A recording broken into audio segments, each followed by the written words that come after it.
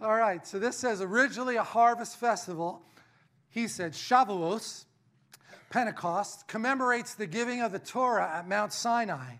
The holiday is one of three biblical pilgrimage feasts, the others being Sukkot, which is tabernacles, and Passover, which we celebrate the resurrection. Shavuos, if I'm saying it the way he did, is Hebrew for weeks and comes seven weeks from Passover. Anybody remember the word Jubilee in the Old Testament? What was Jubilee about? You kind of know just from the word, don't you?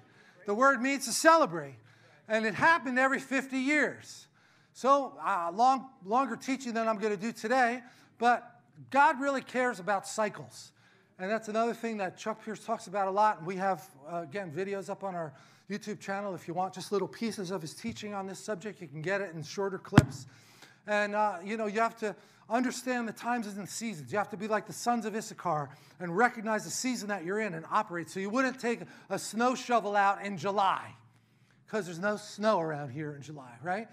And hopefully you don't walk outside in your bathing suit in December because you know the times and the seasons. Similarly, in the spirit, you want to know the times and the seasons and be alert. So every seven is the completion of a cycle, and every eight is the beginning of a new cycle, right? Seven days in a week, and then it starts over again. Well, seven sevens was another form of completion, and then another Sabbath rest would come. And when they did it in years, it would be 50 years. Seven sevens of years is the Jubilee, and they would have a celebration, and debts would be forgiven. And we just talked about that today, not even knowing that that's what we were going to be talking about. But the freedom that comes from the Lord is debts in many other ways, isn't there? He told them, You're going to preach repentance and the forgiveness of sins. All of us, when we got saved, we had to say to the Lord, I'm really sorry for the way I lived my life before I knew you. I, I'm, I'm ashamed in some ways of what I did, but now that I found out I'm forgiven, I have a fresh start. I don't have to live under that shame of those old mistakes that I made. There's been a redemption process that happened better than Shawshank's redemption. Amen. This is the Jesus redemption that says you are forgiven no matter what sins you've committed, no matter how decadent your lifestyle was. I still forgive you. There's no sin that keeps you too far away from me that I can't reach down and take you out of that pit. I mean, that's really good news, isn't it? A lot of people don't know that. A lot of people that don't know the Lord are still walking in their shame. So I just thought this was really interesting that if you look at 500 year cycles, 50 years would be one Jubilee, but every 10, there are significant things that happen. Again, I'm not, I didn't do all the research on the exact dates of all these things, but I have a sense that it's accurate enough that I was willing to at least put the principle out there for you is that God does big things in the year of Jubilee, right? So, birth of Abraham, 10 uh, 2,500 years later, right? So, so, so 1050s later is when the Exodus happened. 1050s later is when Solomon's temple is dedicated.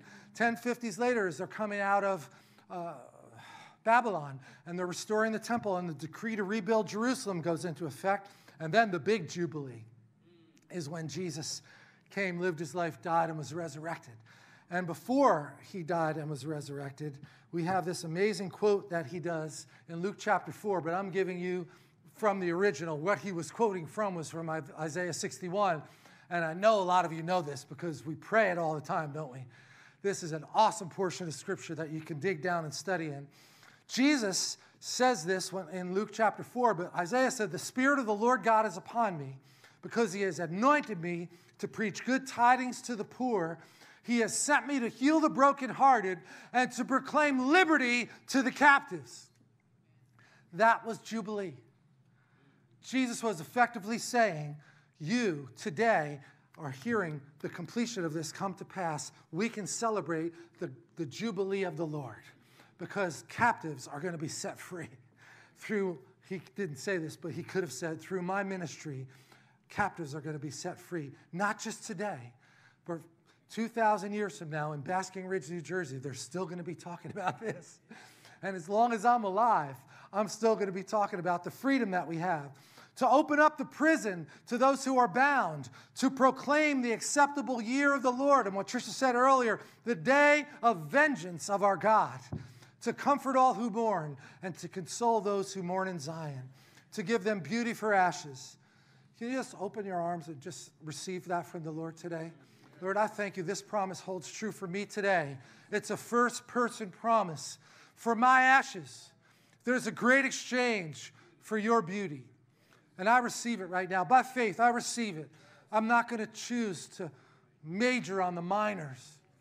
I'm not going to focus on the ashes in my life. I'm going to focus on your love for me. I'm going to focus on the power of your spirit that's on the inside that renews me and brings fresh life to me. Like that stump that was cut down, you give me the scent of water, and I am restored, and you bring me back to life again, regardless of the pain that I've been through. Beauty for ashes, the oil of mourning, I'm sorry, oil of joy for mourning, and the garment of praise for the spirit of heaviness. That's a great exchange, church.